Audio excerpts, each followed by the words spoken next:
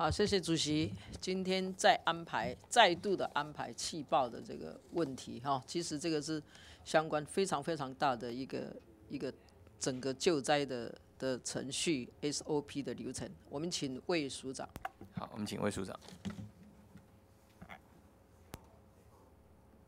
陈委员好。啊，魏署长，从气爆到现在已经多久了？呃，那是七月三十一号。啊？七月三十一号到现在，气爆发生到现在，不是八月十七号气爆吗？是吧？是七月底嘛？七月底啊，那就最后一天，半年了嘛，哈，差不多，对，半年了。那半年中间，你们这样子官员跑台北开会，跑高雄，都都到台北开，有有什么有什么成果出来？如果这个事情再次的发生，你们要怎么办？有没有这个策略出来？呃，跟委员报告，我们其实环保署对这个事情呢，主要在当天发生事情当时，我们就是我我现在不要讲当天整个过程，很多委员都在骂说怎么样怎么样，当天没有处理好。现在事情都过去了，接下来你们如果再发生要怎么做？从院里面来讲，这个相关的公安、环安、劳安，由呃我们有政务委员开很多会议来。做，我刚刚说的意思就是在环保署在这一块呢扮演的角色其实没有那么强或那么多，没有那么强，里面还是责任不清啦，训练不足啦。当天气爆发生了一天都还不晓得那个是什么气，会不会爆炸，对不对？我们收到通报，从就是从那个我们的呃所谓以前叫做独灾应变队，我们就有赶去嘛，到现场我们接受现场的。呃，指挥官的，我们跟他报道以后，根据他的指示，我们到下风处去设站，已经采集了气体，但是正在验的时候已经发生爆炸，你们现在哈，根据毒性化学物理啊那个那个物质处理管理办法里头哈，环保署全国设置有七组的这个啊毒灾应变队，对不对？是。每年还编数十亿耶，数哎数亿运作经费，那环保署在实务上哈应变队里头呢？啊，所所有的灾变的发生哈，出现这个特种专业人员还需要消防消防队特殊的处理，对不对？并要提供当场的这个指挥的的的意见。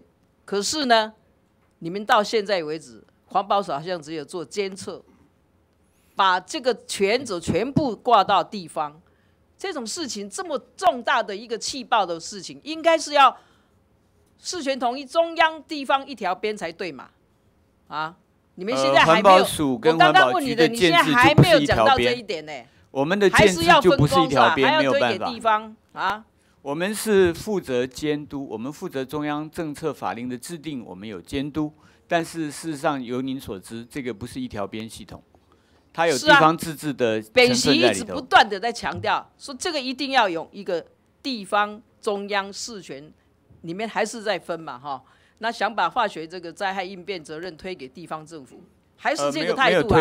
你们还是推的这这个态度啊？呃，碰到那消防队、消防署是一条边嘛，对不对？碰到事情，我们在两个钟头之内，现在就会由刚才讲的那七个所谓的应变队会到达。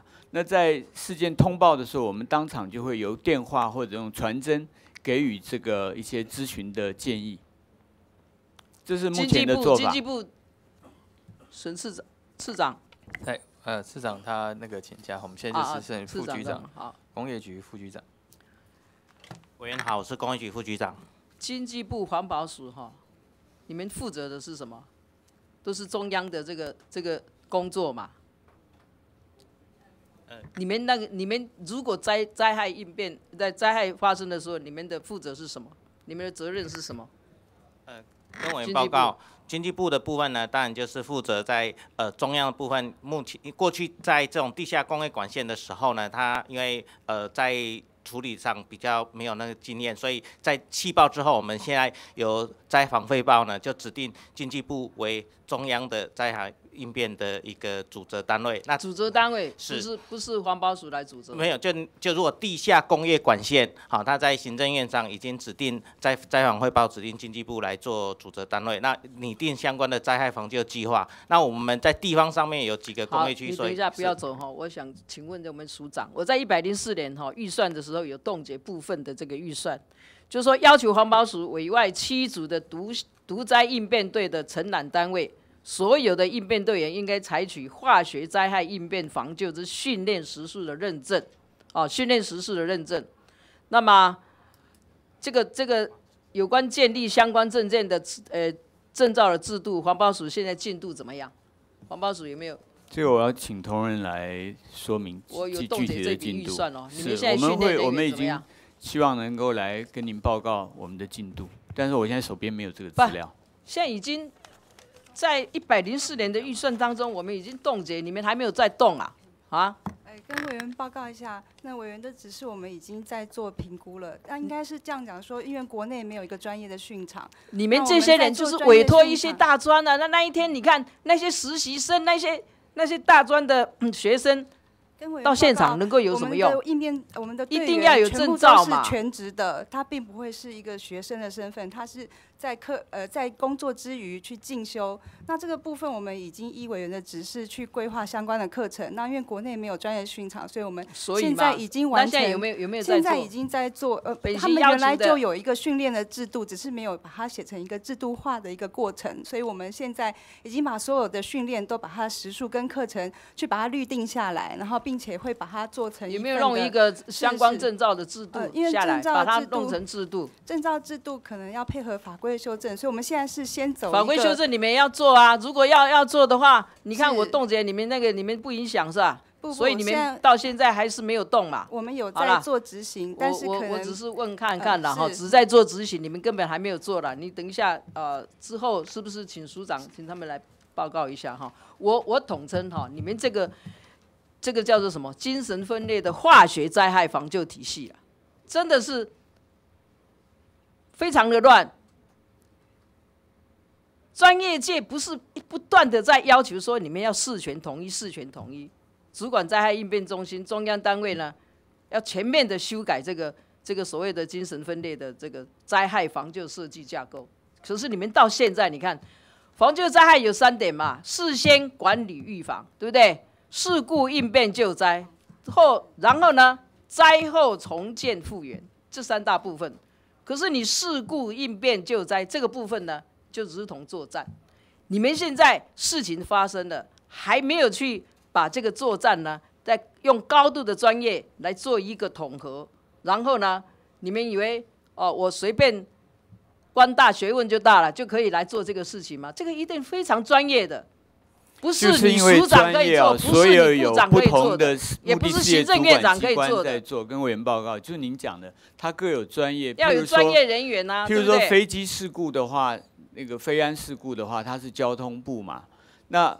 刚刚刚刚我们这边也提到了，我我现在提醒你们就是说，今天不是署长讲的算，经济部长讲的算，你们要去培训专业人员出来管这件事情。关于，而且这件事情已经发生半年了，你们整个 SOP 如果再发生要怎么处理，你们都还没有弄出来。关于本署的这是你们的的办事的态度吗？陈门，你刚刚讲的，我们现在在证照和训练的制度把它更证照训练，你刚刚也答了，也还没有啊，也还没有啊，我们正在做进行。送你们预算，你们都都都无关紧要啊！我们非常积极在做，委员这一点你放心。但是有很多是法制作业，法制作业有一法制作业也要赶快积极啊！万一明天又气爆，你怎么办？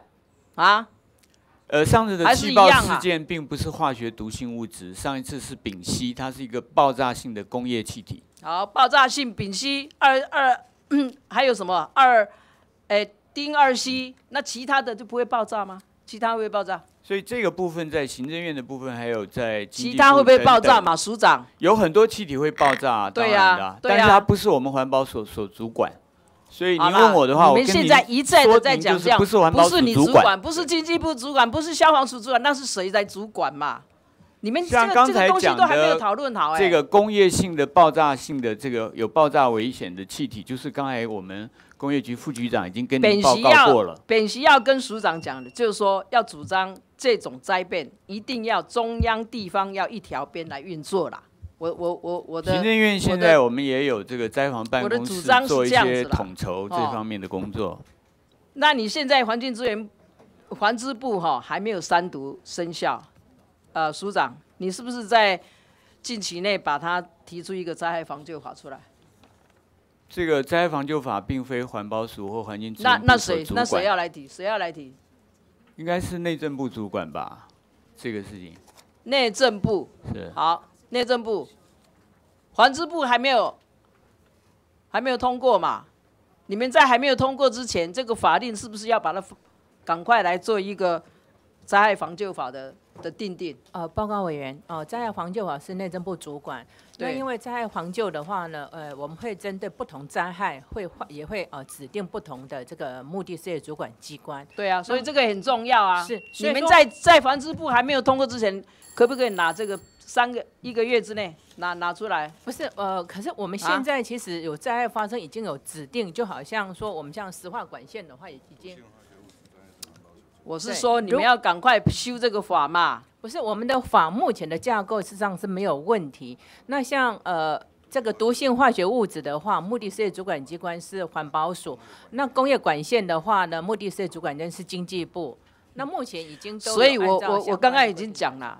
这种东西这么重大的气爆，就是要中央地方要事权统一，要一条边这样下去嘛？你们还没有做这种规划，还是要环保署，又是内政部，又是经济部，到现在还没有整合好就对了。你们开了那么多次会，在开什么？没有一个人可以讲出来啊！好，报告委员，因为呃，有关我我现在是说，你们要不要赶快修这个法啦？灾害防治法的修法提议。啊，在环资部还没有还没有三读通过之前，呃，有关这个法的架构，目前似乎没有很大的问题。但是委员指示的话，我们会呃再跟好，没有很大问题。你接下来我我来跟你谈问题在哪里了哈。然后你下去，那个署长，这个是不是你管的？塑胶袋，你看外面的塑胶袋，全部都在装肉食。美国早就就就已经不能装了嘞，美国、日本都不能装哎。你们要不要管这一部分？这个可能也有致癌的一个成，一个非常高的几率在里头嘞。环保署主要是管污染物的环境流布啦。那塑胶袋以前有禁用、限用政策，目的是要减少它环境危害。但是它怎么你们去规定啊？你们去规定说塑胶袋不能装肉食。现在小摊贩。整个整个一些装肉食的全部用塑胶袋，这可能要由要由卫福部或者相关的这个商品使用的单位主管单位来做，这不是环境保护署可以做的。如果你们你们去定定说塑胶袋不能装肉食，不是在你们这边规定在我们这边了，我们是做环境流布了。好，环境流布好，谢谢。OK，谢谢，我们谢谢陈杰委员跟官员。好，我们接下来请江惠正江委员。